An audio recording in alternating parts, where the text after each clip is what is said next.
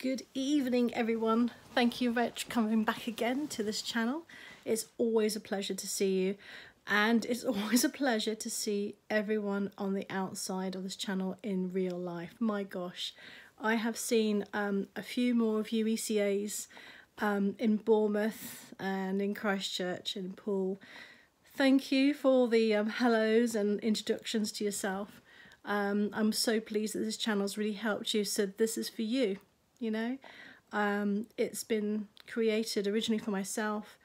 Now it's been created for you guys to um, help with your learning, to help with your um, your questions before you even get onto an ECA class, you know, into the course.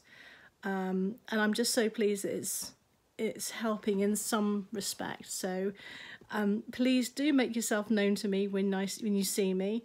Um, usually it's going to be with a mask. and uh, yeah, uh, uh, it's really lovely, really lovely to see you guys out there in, in the flesh, as it were. So thank you for that.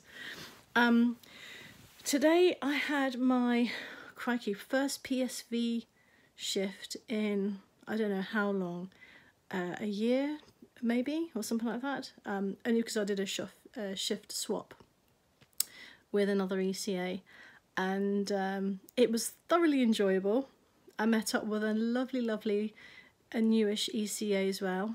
Um, we worked out of Bournemouth today, and um, I won't mention names, but uh, yeah, she was from you know a bit further afield, closer to Poole than Bournemouth, and uh, we've had a cracking, a cracking uh, shift. We only had about three, I think, people. Um, I had a career conversation um, with my OO, which is good, you know.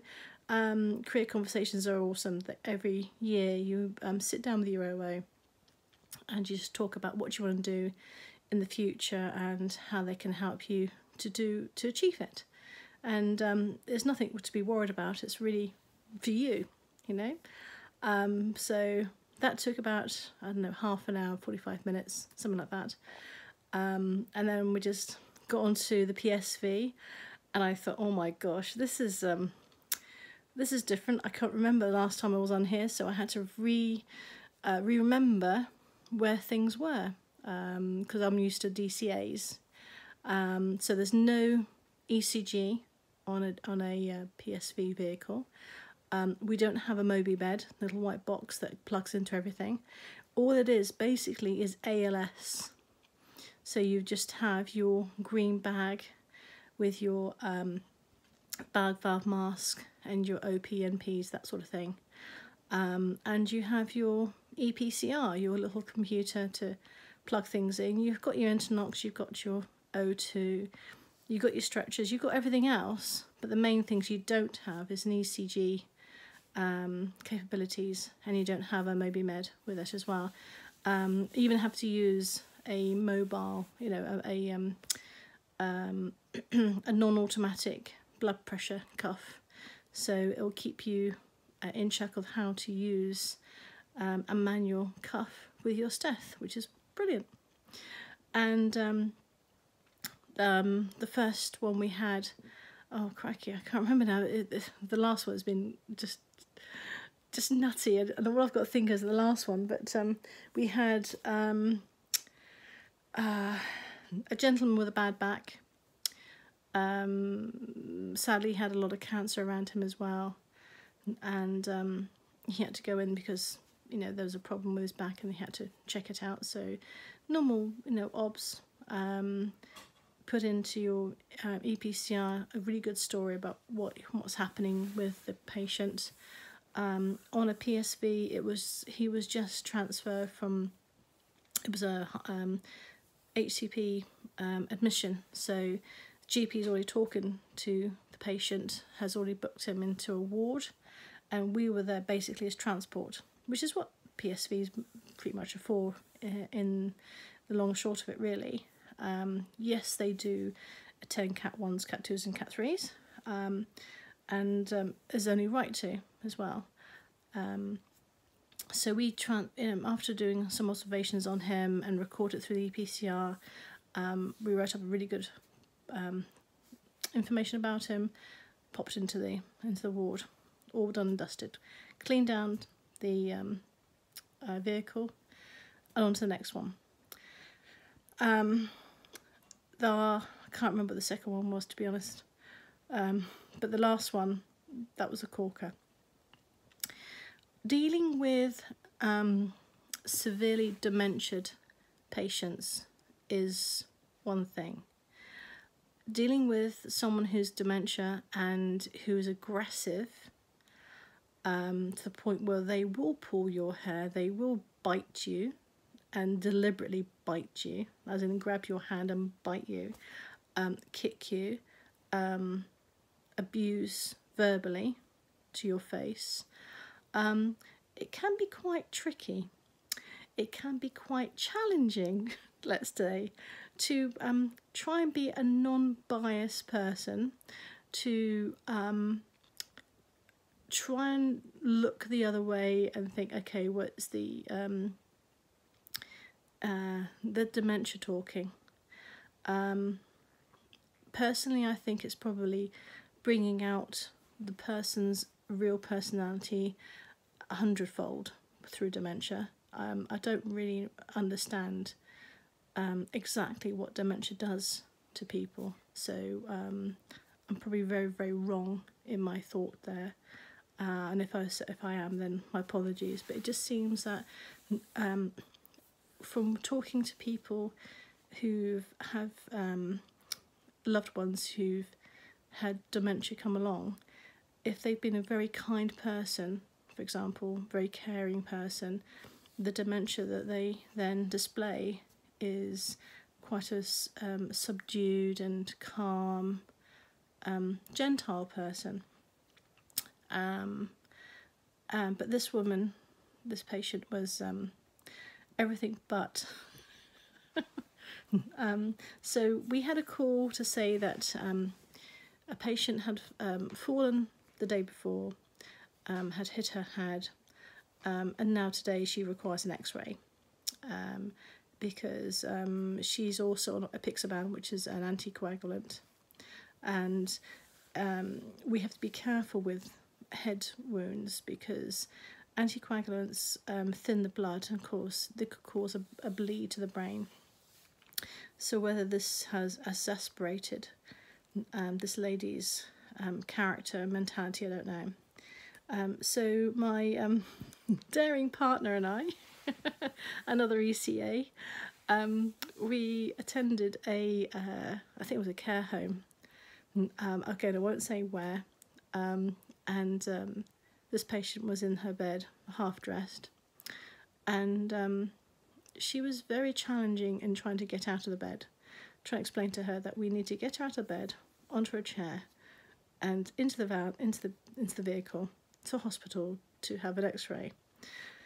Because the way the dementia was, um, she uh, was resisted, let's say, and you can't force so much um, on a patient what you want to do. You have to be very gentle and try and coax them for them to do it themselves. Um, luckily, uh, we had peace of mind to enlist the the help of the staff there who knew her and she knew them, and um, it was a real struggle getting her out of the bed, onto the um, onto the stre- uh, onto the um, uh, the wheelchair, which then she proceeded to try and push herself off the wheelchair, saying that she couldn't stay on, and she knew she could stay on. She was just being obstinate. I'll say it nicely. Um, then uh, we wheeled her to the PSV, where she uh, had a problem trying to get onto the stretcher because she liked to have, I believe she was preferring the chair then. Uh, then um, we use the um, the straps for you know for travel. So like like you have car straps, um, we have straps for the um, uh, the stretcher as well, which adds as a demo bonus really because this allowed her to be uh, clicked in place for safety for herself and for us, um, and she couldn't work out how to open them up. Um, and all this time, she tried to uh, claw at people, uh, pull their hair, grab at me. I mean, the, the, she grabbed at my epaulette, and that's the first and only time I let her near me because I wasn't sure what she wanted. And that's so. So that's a um, a learning curve for me. Never get too close to someone who really doesn't seem um, with it in that sense. Um, and she tried to grab hold of um, one of the other staff members and my hand and uh, proceeded to try and bite it. So, um, when you do your um, combat, um, what's the word I'm thinking of? It's how to defend yourself without hurting um, against someone like a dementia patient, like an elderly person who's trying to hold on to you. So, um, it's not combat, sorry, it's something else. I can't remember what it was now. Please let me know in, in the comments below. Anyway, so I can't remember what it's called. Um, so I had to unrelease, you know, release her fingers around uh, with the staff member's hand um, and um, just basically keep away from her teeth and keep away from her legs and, you know, that sort of thing. So it was very challenging. Um, and then we spent quite a long time um, trying to get the paperwork done, and all this time she was throwing abuse at me, um, laughing at me, um, trying to make me bite, basically in the way of, you know, trying to get me to argue, and um, yeah, and it was funny for the first half an hour, forty five minutes. And then we also had to wait outside the hospital because there was no beds, sadly. So, because this lady was COVID 19 um, positive, um, we had to go into obviously a special place, a side room for her, um, which made it a bit more difficult with trying to get her place quickly. So, all the time I was in the back with her, um, securely in place, and she wasn't hurt or anything like that. Um, she was uh, throwing abuse at me and trying to hit me with the um, straps, um, trying to hit me with her bag, calling me all sorts of names under the sun, which completely shocked me for an 88 year old. and um, it started chipping away. I'm thinking, this is really not nice. You know, I couldn't do, I couldn't do the carer's job. I absolutely hats off to them. I could not do their job. If any of you guys have been a carer for a dementia patient, for Alzheimer's, anything like that, you know, I, uh, I you know, amazing. I don't, I haven't got that sort of um, staying power. I spent two and a half hours, I think, roughly, with this patient, and by the end of it, I was completely exhausted. I've even had to have a large glass of wine. and it's 10 o'clock tonight. oh gosh, I can't believe it. But yeah, um, so yes, dementia patients. Um, they can they can be very challenging. They can be uh, very nasty or very kind. They could be crying. They could be laughing. It, it, you know, at the end of the day, the way the dementia um, uh, affects them, it differs all the time. Um, it's very hard not to be biased. It's very hard not to bite back and and say how you feel because you don't want to get hurt because you they're saying really unkind things that can really hurt your feelings.